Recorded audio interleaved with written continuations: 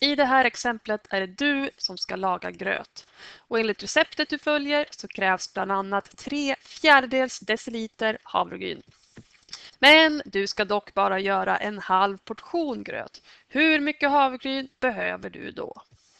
Okej, enligt receptet så ska vi ha 3 fjärdedels deciliter gröt. Men du ska bara göra hälften av det. Det vill säga en halv av tre fjärdedelar. Hur mycket är det? Hälften av tre fjärdedelar. Okej. När vi ska multiplicera bråk, då kan vi bara multiplicera täljare för sig och nämnare för sig. 1 gånger 3 är 3, 2 gånger 4 är 8 och vårt svar är 3 åttondelar. 3 åttondelar är alltså hälften av 3 fjärdedelar. Svar.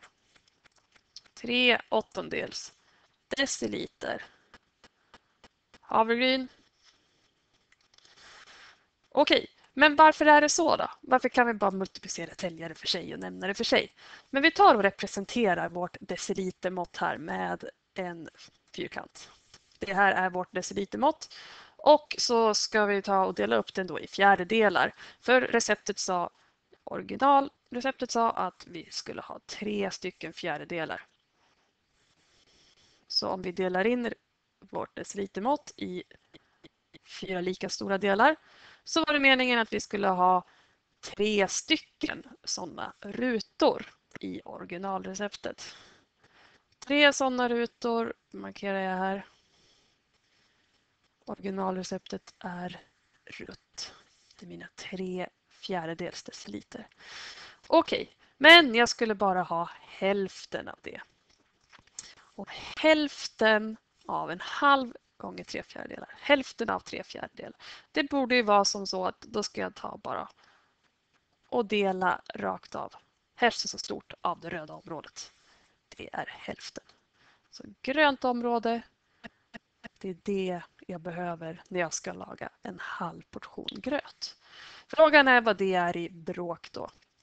Jo, vi har ju tagit och delat upp där att det blir som en och en halv sån här ruta.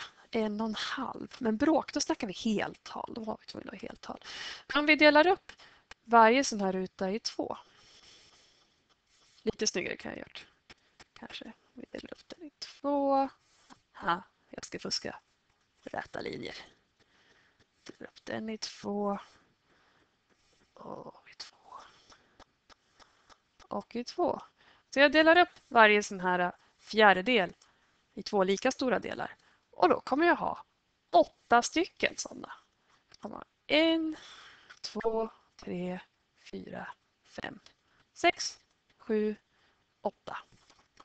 Åtta lika stora delar och vi ser här grönt att det var precis tre sådana rader som var hälften av tre fjärdedelar. Så, tre åttondelar är grönmarkerat och det är hälften av tre fjärdedelar.